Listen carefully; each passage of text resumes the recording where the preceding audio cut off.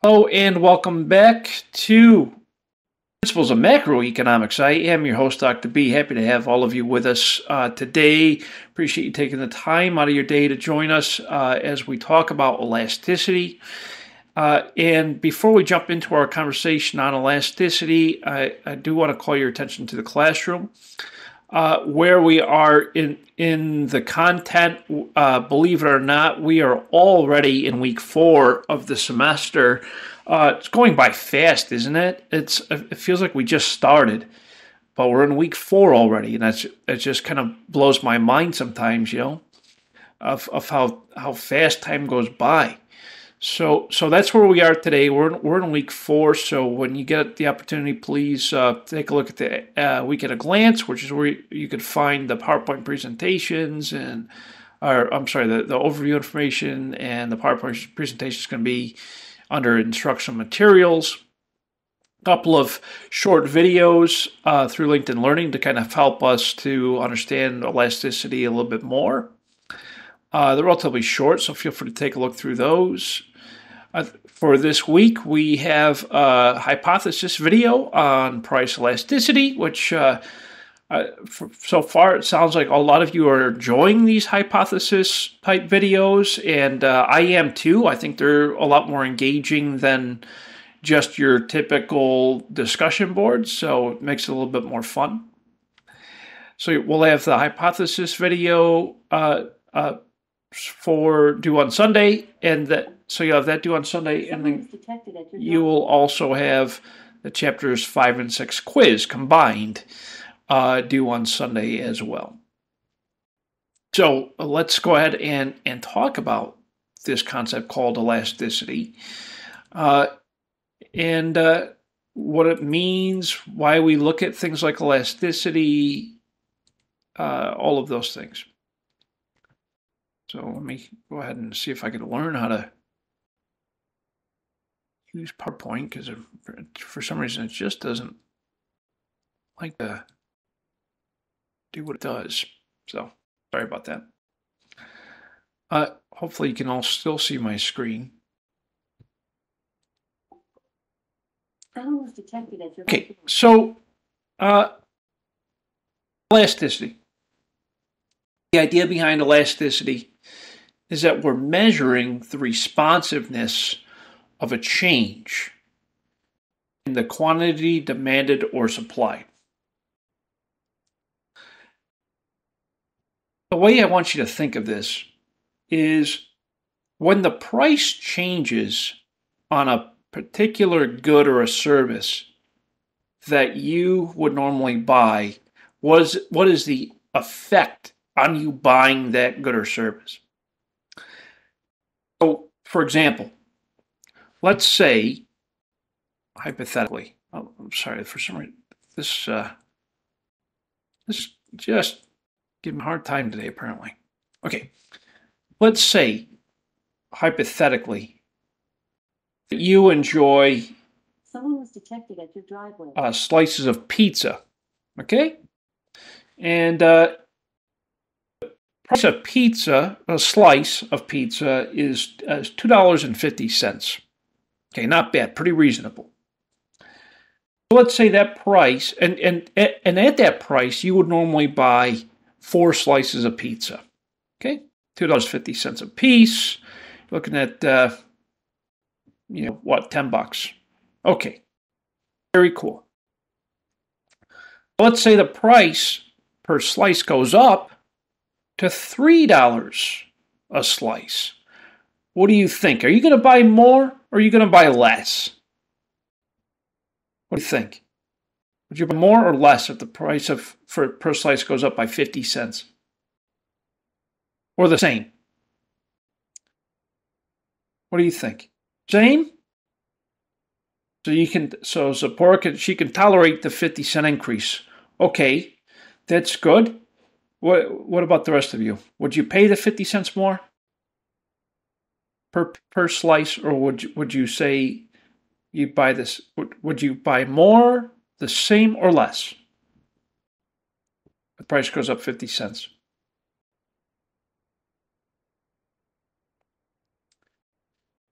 Camille would pay it. Okay, great, great. Okay, so now you're paying three dollars a slice, and uh, what if the price goes up to three dollars and fifty cents a slice? You're going to buy the same or less? Three fifty. Now we're you know getting up there. Instead of four slices, maybe three, maybe two. Now the conflict.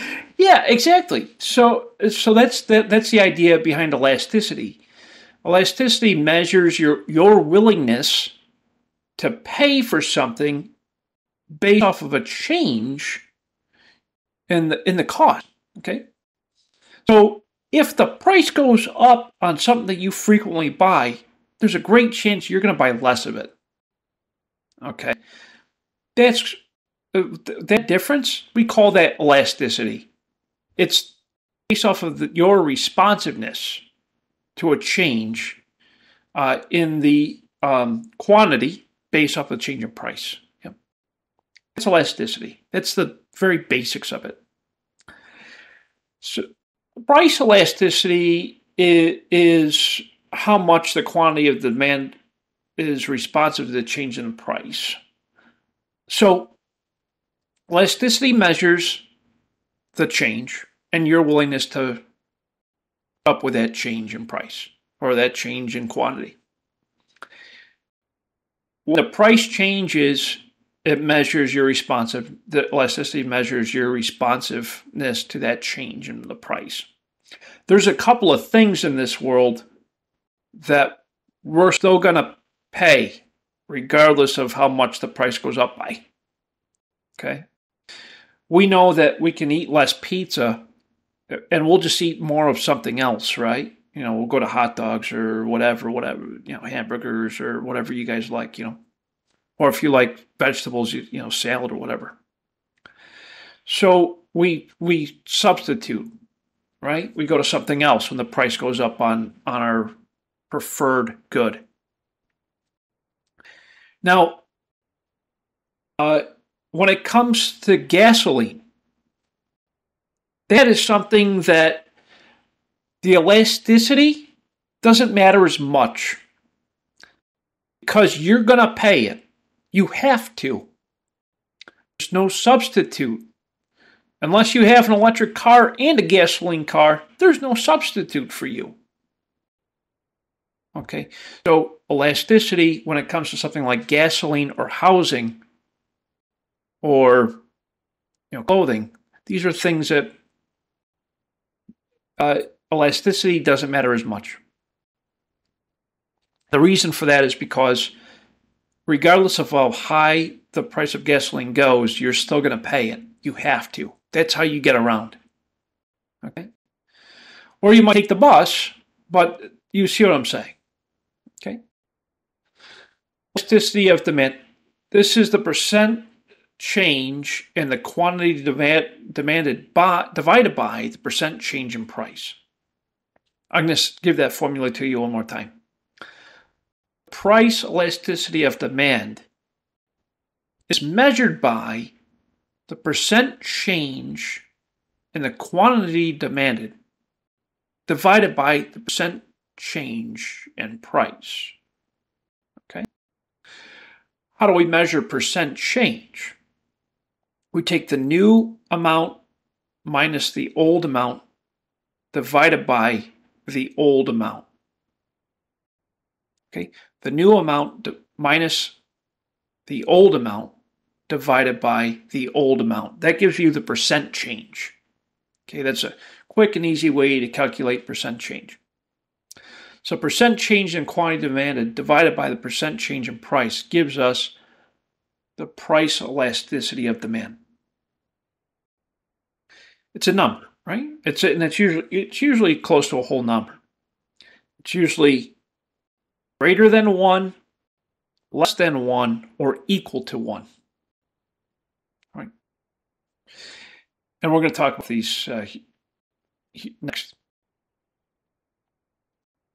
When demand is elastic, it's uh,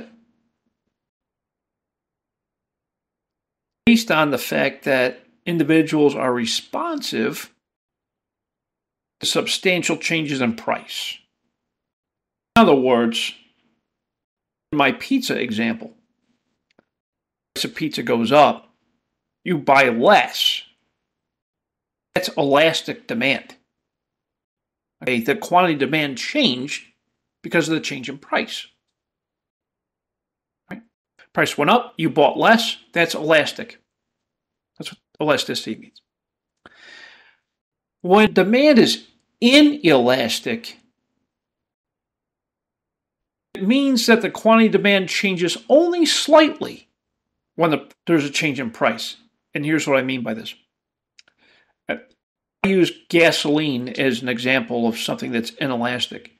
And the reason for that is because the price went up slightly, still getting the same amount of gas. Or you might get a few gallons less, but only by a little bit. It's inelastic, you see.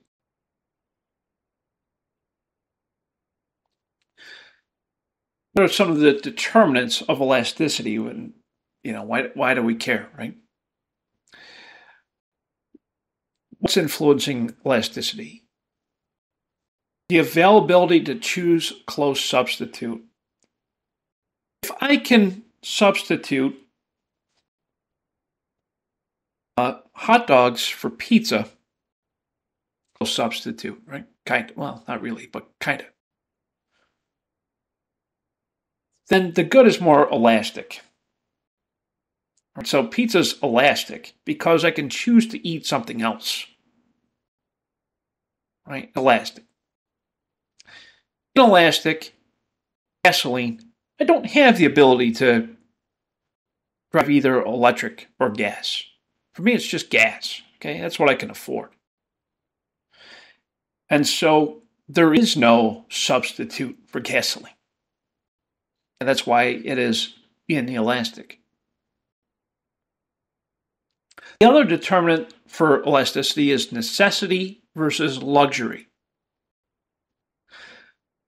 Gasoline is a necessity. I need it to get from point A to point B. It is inelastic. It's a necessity. A luxury is eating a slice of pizza. Okay, that's a luxury. I don't need to eat the pizza. Although I like it, I don't need it. It's a luxury. Yeah. So these are the what things that uh, determine elasticity.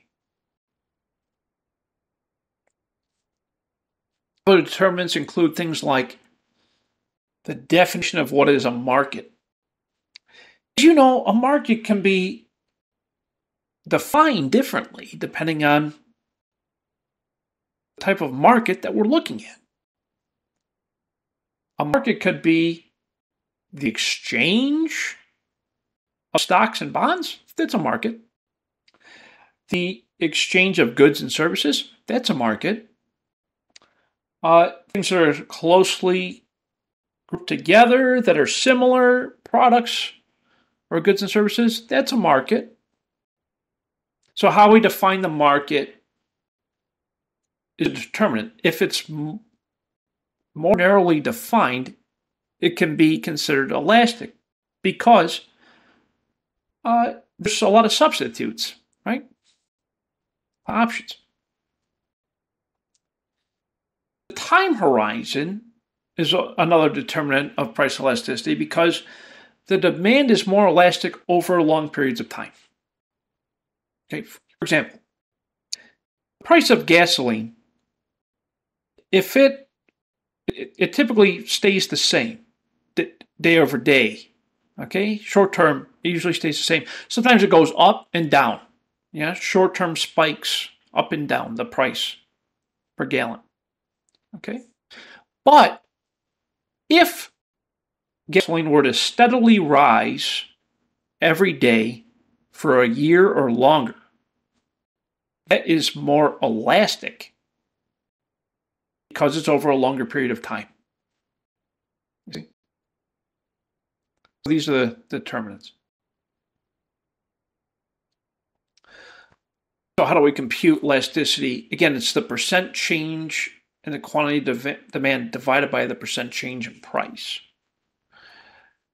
Uh, we use the absolute value to drop the minus sign. Fancy talk, right? Uh, this formula looks a little crazy, right? It's, it's not um, the most clear. So to make it clear for you, the way I th- like to think about it, it's the new amount minus the old amount. The new amount minus the old amount divided by the old amount. The new amount minus the old amount divided by the old amount. That gives you the percent change. Uh, times 100 will give will you know make it needs to be. New minus old divided by old times 100. You want to do the the the top part of the of the fraction first. Yeah. New minus old, do that first. Divided by the old amount. Okay. Uh, is that are we all pretty clear on the formula for this? Right? Hopefully that helps to clear it up because I, I know that this formula is a little fuzzy. right? There's a lot of variables here. But again, the way to wait the best way to make this formula the most clear that I can is you take the new amount minus the old amount. Do that first. And then divide that, that number by the old amount. That gives you the percent change. You see? Clear? Makes sense? Y'all okay? Yes, no, maybe? Yes, Professor. Awesome. Thank you so much. All right, very cool. Uh, yeah, so yeah, that's the best way for that formula. So, uh, elasticity, if the that amount, that percent change, okay, one percent change in the quantity demanded by divided by the percent change in price, if that amount is greater than one, it's said to be elastic. Okay. If it's less than one, it's inelastic. If that number is equal to one, it's said to have unit elasticity, or also known as perfectly elastic. All right. That's a way to think about this. So greater than 1, elastic. Less than 1, inelastic. Equal to 1, it's perfectly elastic. Has unit elasticity.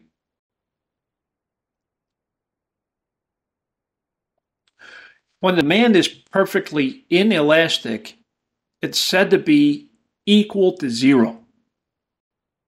Perfectly inelastic equal to zero. In that case, if it's perfectly inelastic, it's going to have a vertical demand curve, uh, straight up and down. It's at zero. Okay? For when uh, elasticity is perfectly elastic, it is said to be infinite. In that case, it's going to be a horizontal line.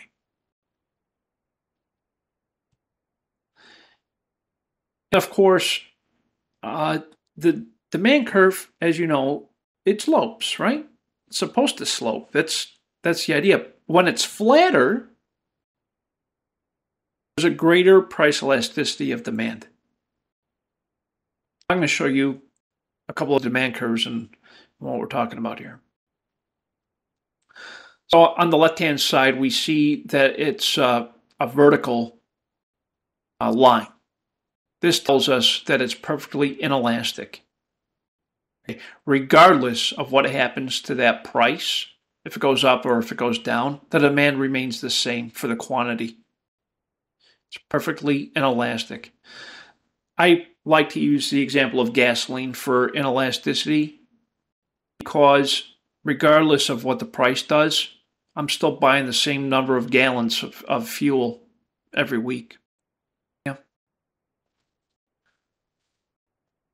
the right side, we see inelastic demand less than one.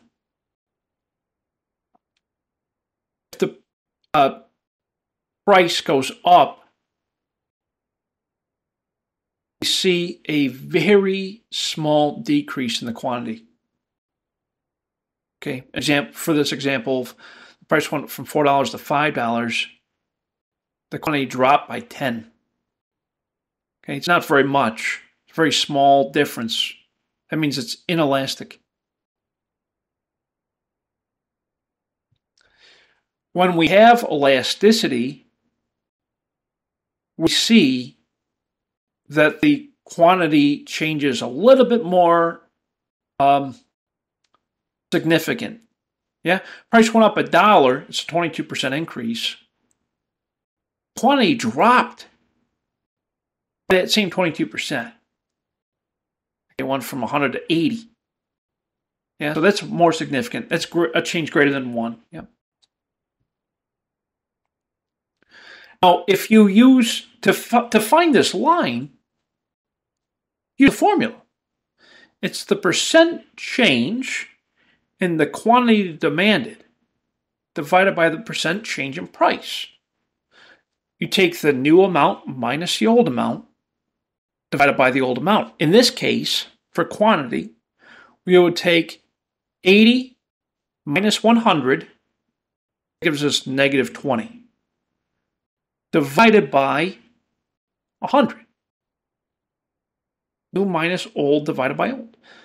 80 minus 100 is negative 20 divided by 100. Okay, minus 20 divided by 100 is negative 0.2. Okay, negative 0.2, That leads to a 22% de- decrease. You see, just multiply that. 100. And if we do the same thing for the percent change uh, in price, new minus old divided by old. New price is $5, old price is $4, so that's 5 minus 4 is 1, divided by 4. 1 divided by 4, yeah, so it's a, what's that, 25%. So 0.2 divided by 0.25, that gives us our unit elasticity. In this case, equals to 1.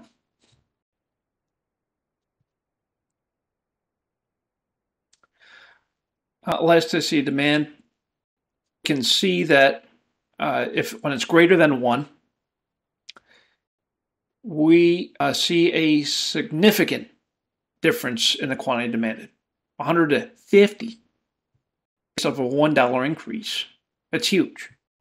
When you see a difference that big, you know it's elastic. It's elastic. When the elasticity uh, is said to be perfect, it means that we have a horizontal line. What that means is the uh, quantity doesn't change price doesn't change. Okay.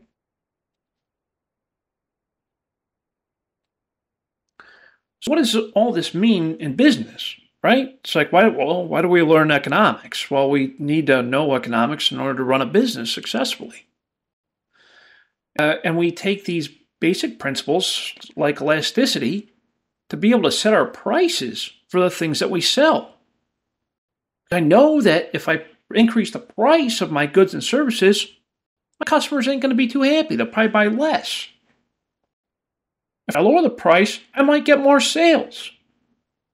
So we need to look at what the impact of these price changes are on our sales.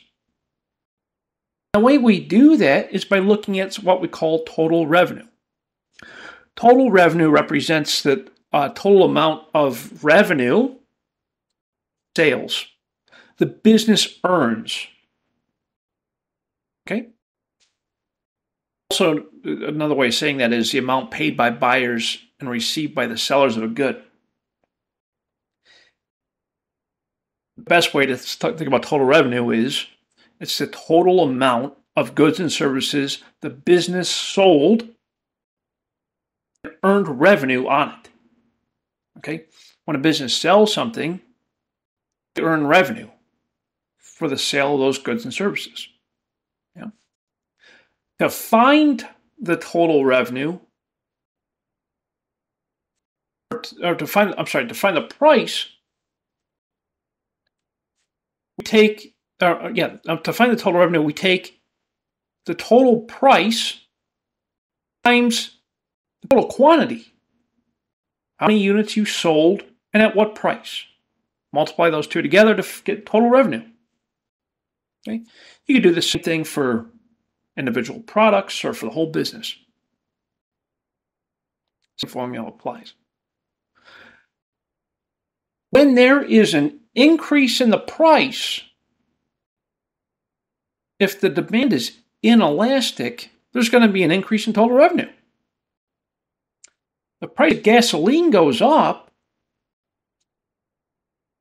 people still need to get the gasoline, don't they? So the total revenue increases. Still buying it. Need to. However, if the demand is elastic, meaning price of a slice of pizza went up by 50 cents, be less people buying it. So the total revenue decreases when it's elastic. You see?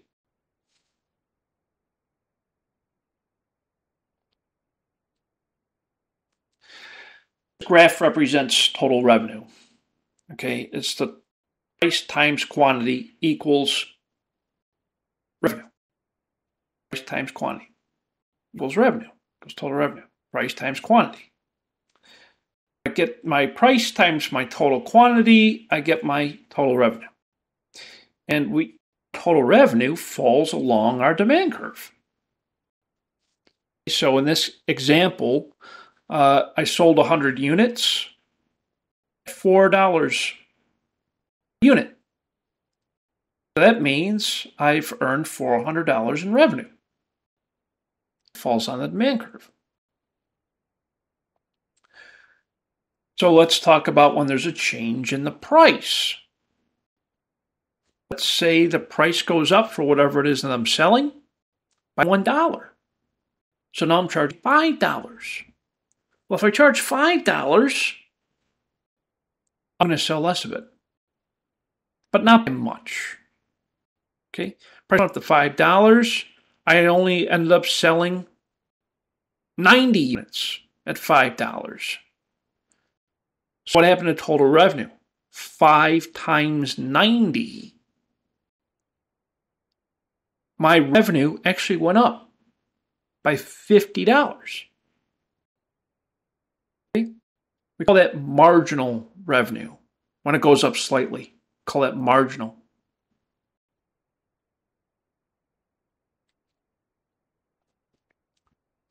What about uh,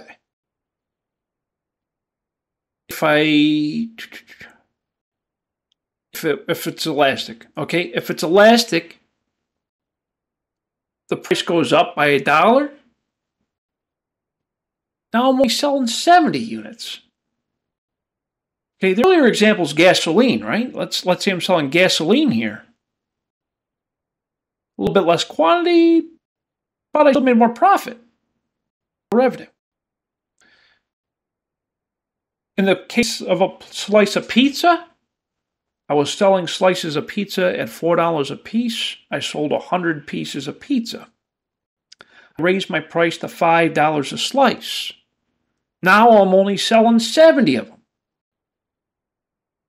Yeah, make a big difference, right? So, when that happens, revenue drops.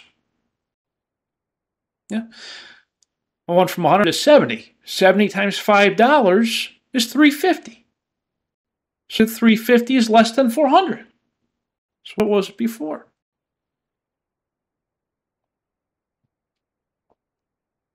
So again, to recap what we're talking about here, uh, a sensical way.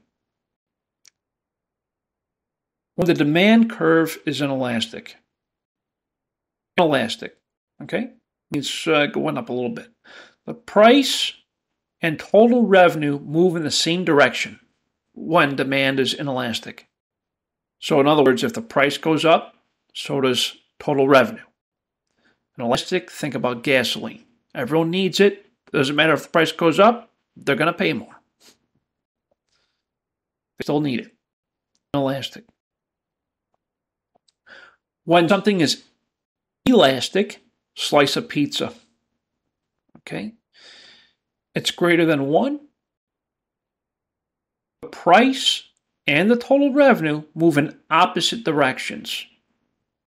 If the price goes up on a piece of pizza, the total revenue goes down. Less people will buy it when you move it from 4 to $5. If the demand is unit elastic, meaning it's equal to one, the total revenue remains constant. That's that represents the the horizontal line equal to one.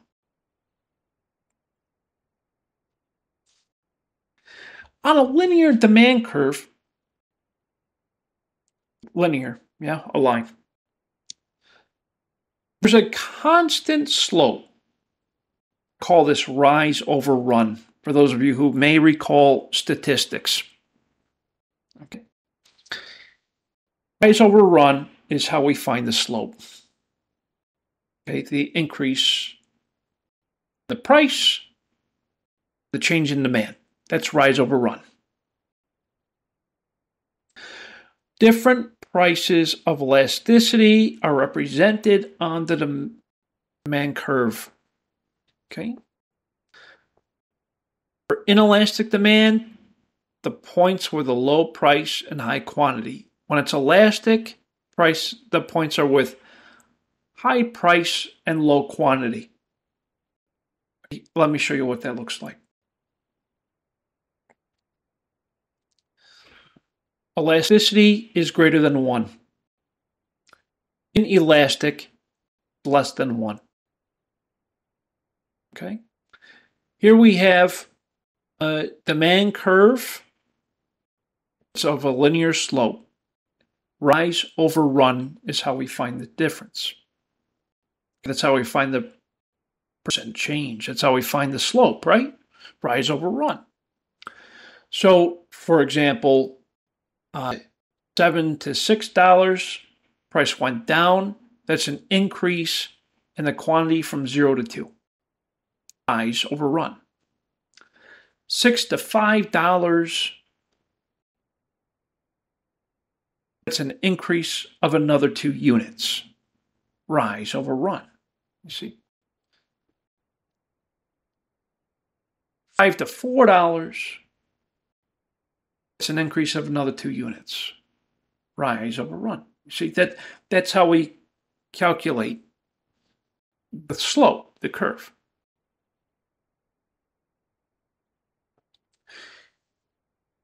To simplify it, you could put this in Excel. Okay, if you use Excel, you put the price and the quantity individual lines, okay, individual columns you find total revenue. Take price times quantity. How do you find total revenue? How do we find the percent change in price? Okay, we take the new price minus the old price divided by the old price. What about percent change in quantity? We take the new quantity minus the old quantity divided by the old quantity.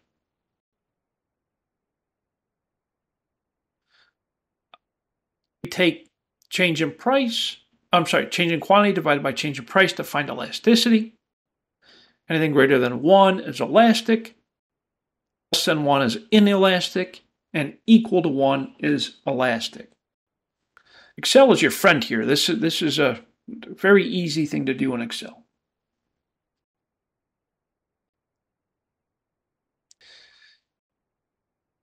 Okay, so we talked about price elasticity. Now let's talk uh, a little bit about income elasticity. When your income changes, your responsiveness changes as well. Okay? Let's say your income goes up. There's a great chance you're going to spend more money. Makes sense. Your pay went up, you're going to spend more. You have more disposable income. Okay, I could go out and buy some more things. If your income goes down, the opposite's true. You're not going to go out and spend as much. Just as we did with price, income works very similarly. Percent change in the quantity demanded divided by the percent change in the income. Income instead of price, basically.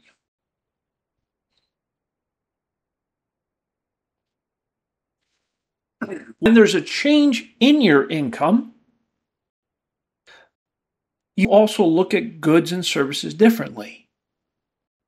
You have what's called normal goods and inferior goods. A normal good has a positive income elasticity, meaning it's directly correlated with your income. You're going to purchase necessities and probably some luxuries. Necessities, meaning food, shelter, transportation, and four walls. Yep.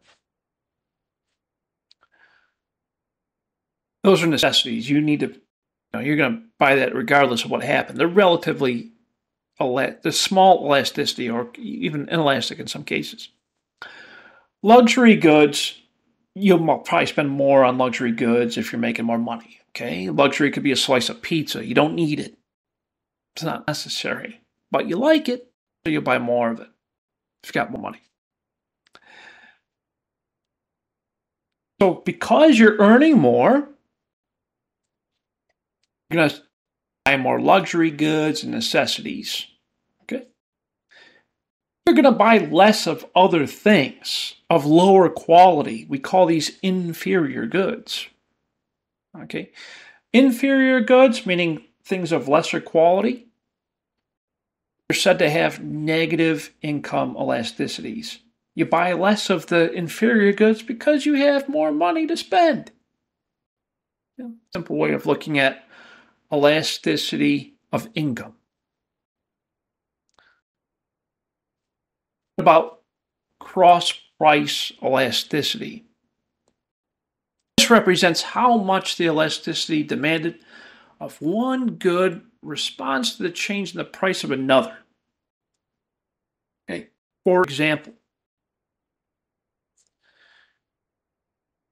the price of ketchup goes up.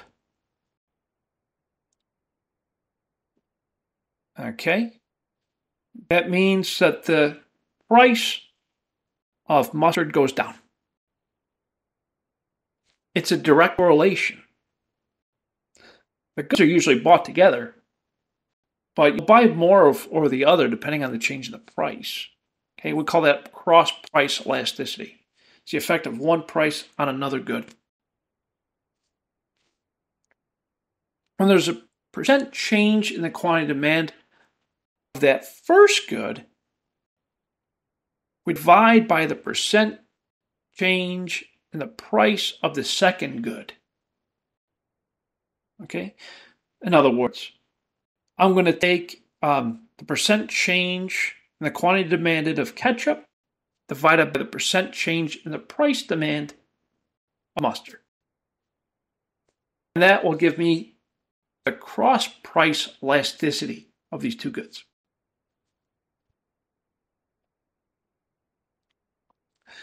Some goods can be used as substitutes for others, meaning I could buy one good over another. These goods typically are used in place of, of the other, yeah? That's what a substitute is. I'll buy this instead of this. There's usually a positive cross price elasticity of substitute goods. We also have what's called complementary goods. These are goods that are typically used together, like ketchup and mustard. Okay. These usually have a negative cross price elasticity.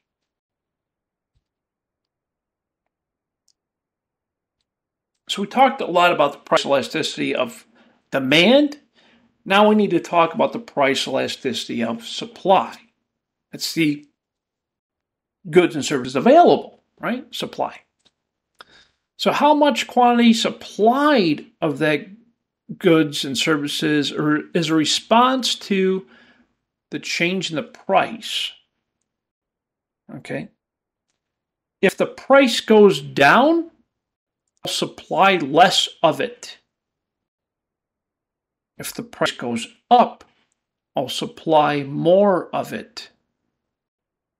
They're directly correlated. Okay. Price goes down, I supply less. Why would I supply less when the price goes down, not more? Because the market is saturated. Okay. Meaning, let, let's say I'm, I'm an orange farmer. I sell oranges to grocery stores. Okay. Supply a thousand uh, oranges to the grocery store at 10 cents a piece. That price goes down to 5 cents a piece. I'm going to supply the grocery store with less. I'll price supplies them with 500. The reason for that is because there's already too much of it available.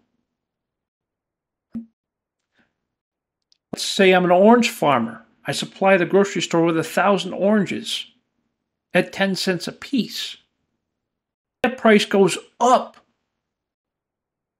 to 15 cents a piece. I'll supply the grocery store with more oranges, not less. Why would I do that, you might say? Because there will be less oranges available on the market. It's the law of supply and demand. Find the price elasticity of supply, we take the percent change in the quantity supplied divided by the percent change in price. The, the, this all depends on the flexibility of sellers to change their prices.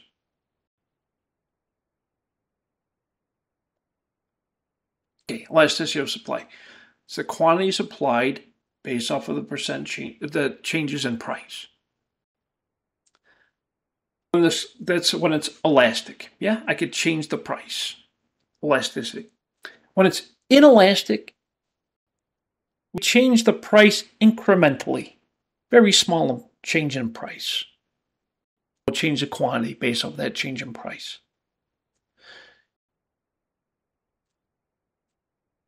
The time horizon has a lot to do with this.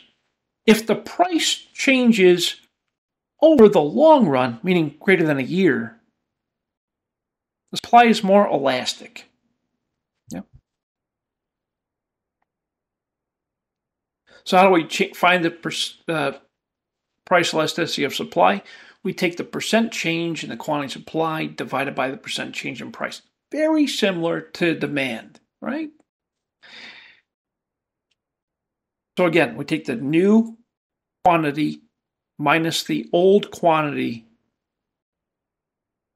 do that first, and then divide that by the old quantity. That will get you a percent change in quantity. Now we do the same thing for price. The new price minus the old price divided by the old price. That gives you the percent change in price. We take percent change in quantity divided by percent change in price to find the price elasticity of supply. Supply curves very similar to demand curves, but of course, as you know, the difference is they are upward sloping to the right, usually. When it's unit elastic, supply elasticity equals 1. If it's elastic, it's greater than 1. If it's inelastic, it's less than 1. Again, very similar to the way demand works. Supply is perfectly inelastic, it equals zero.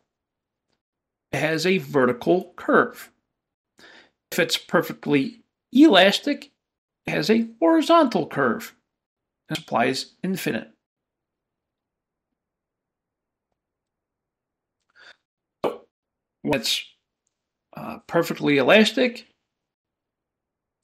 it's uh, vertical. When it's perf- you know, perfectly inelastic, it's vertical. Well, inelastic, it's slightly curved, you see, to the right, upward sloping to the right. Incremental change, yeah? Incre- a small price change in price equals a small change in the supply. You'll notice again, as I had mentioned earlier, the increase in price correlates with an increase in supply. Something is elastic, change is greater. Slight change in the price equals a greater change in the quantity. For $5, from 100 to 125, 22% increase. Quantity supplied. As, as the elasticity is even greater than 1, the change is even more significant. Increased by 100 in the terms of the quantity, yeah? And when it's the elasticity is perfectly elastic, the supply is infinite at a set price.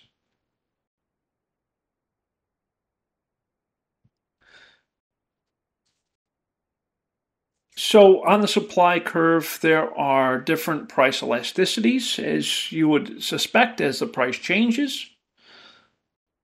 Points with low price and low quantity are said to be elastic. Capacity for production is not being used. The price, the points with higher prices and higher quantities are said to be inelastic.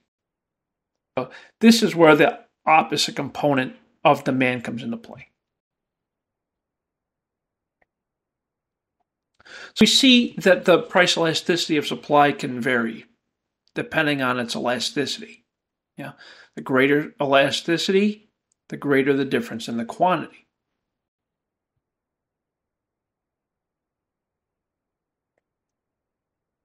Here we have an example. So we'll, we'll show you the application here. Farming uh, a new hybrid form of wheat crop, a 20% increase in production. You'd think that'd be good, right?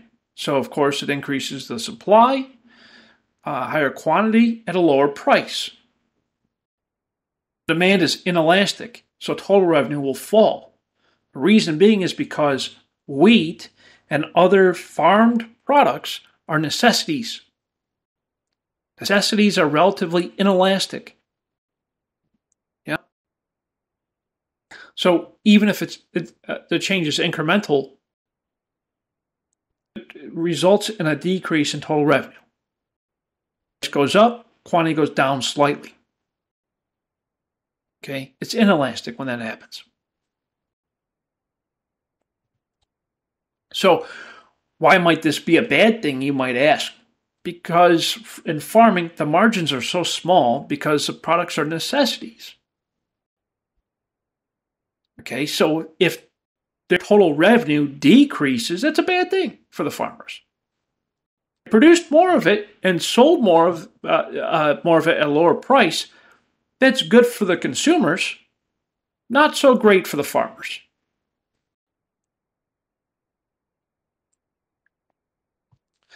Same is true with oil. Uh, as prices of uh, oil increases, which actually are experiencing that right now in 2023 to some extent.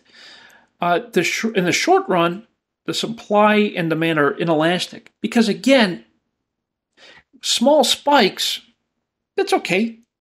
You know, uh, uh, it's inelastic. It's a short run thing. It's like price went up today, might go a little bit down tomorrow. That's cool. That's fine. But in the long run, if those changes uh, occur it's a little bit more elastic. You know, people think about taking other modes of transportation in that case. So uh, here on the left, we have the short run, you know, short spikes in prices or decreases in prices. It's like it's it's inelastic, yeah, incremental changes. But in the long run, as those we look out on the time horizon, it's more elastic as time goes on.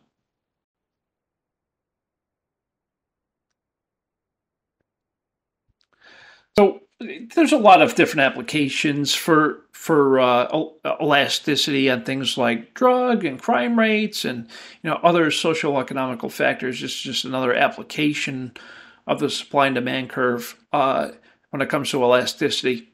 You can really look at a lot of different correlations for, for applying elasticity to both the supply and demand curves. So that's our discussion on elasticity. Any comments, questions, concerns on elasticity before we jump into the next chapter? Or are we all doing okay? Anything at all? Brandon? It's all good. You're good? Okay. All right, cool.